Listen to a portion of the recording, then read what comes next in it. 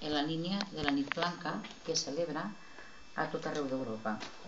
Volem que la nit del dia 23 de juliol siga una invitació per a sortir al carrer, a gaudir de la nostra ciutat i de la seva oferta, a participar activa i massivament en els diferents actes que s'han programat.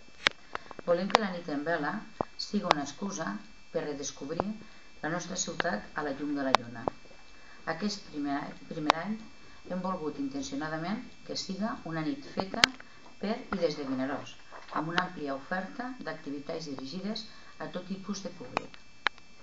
Les diferents activitats programades es concentraran en el tram horari comprès entre les 19 hores de la tarda i les 2 de la matinada, amb activitats dirigides a adults, a joves, a xiquets i a xiquetes.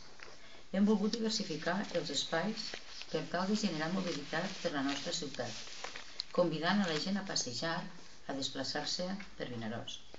Així, els espais aniran des de la platja del Fortí fins al Santuari de la Mare de Déu, de la Misericòrdia, des del passeig Fora Forat fins a la Iglesia Arxiprestal, des de la plaça Cardenal Tarancón fins al port.